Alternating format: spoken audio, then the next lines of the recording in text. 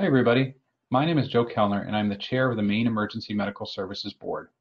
EMS Week is normally a time of celebration, both on a state level and within each of your individual services. Normally during this week, we would recognize EMS award recipients, including those that have gone above and beyond the call, and I am personally disappointed that this is just one additional norm disrupted and delayed due to the ongoing COVID-19 pandemic.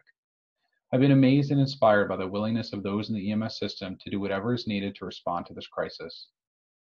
While we have all had substantial impacts to our daily lives, those on the front lines have continued to serve the patients that rely on us despite less than ideal conditions. This year's theme of Ready for Today, Preparing for Tomorrow to me has several meanings.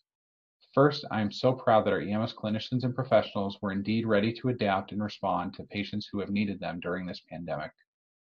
Ready for Tomorrow for me provides a few things to think about and reflect on.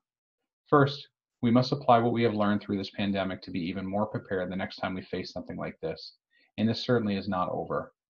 That may be through changing PPE PAR levels, through training and education, through development of refined policies, procedures, and protocols, but preparing for tomorrow means much more than that. EMS is changing, and the way we deliver care will continue to grow and adapt as more patients receive healthcare in their homes. As new technologies are introduced, and as community needs morph based on the availability of local healthcare resources. EMS will be a key platform that continues to ensure patient access to care. In closing, and on behalf of the Maine EMS Board, I want to share my sincerest appreciation to everyone that makes the system work, including emergency medical responders, emergency medical dispatchers, emergency medical technicians, AEMTs and paramedics, vehicle operators, physicians, nurses, and associated professionals. Thank you for the work you are doing now and for the work you do every day. Remember to take care of yourselves first and also those around you.